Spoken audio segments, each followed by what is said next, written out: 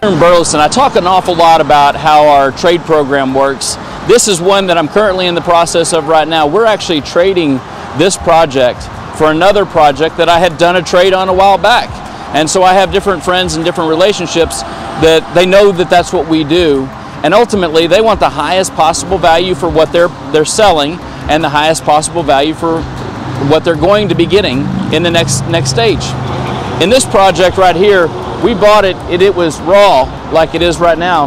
And what we're going to be doing is 104,000 square feet of small offices and, and uh, like businesses, little, little small companies that uh, roofers or plumbers or granite countertop guys or veterinarians. And so we'll, they'll all have a brand new building. Uh, this, this group of buildings right here are going to be taken down.